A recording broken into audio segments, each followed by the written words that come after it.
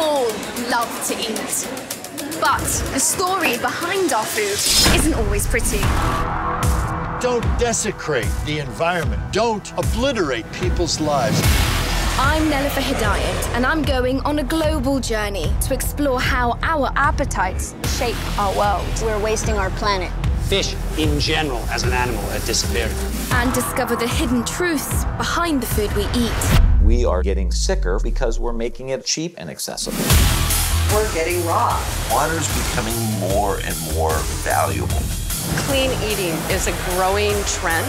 The future of food these big corporations are running animal agriculture like a machine.